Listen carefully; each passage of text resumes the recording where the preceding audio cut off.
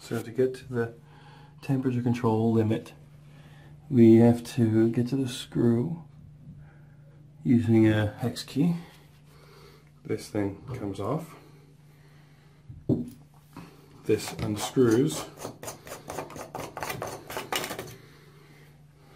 And then there's your limit screw. And then what you need to do is you're going to loosen the screw, turn the handle,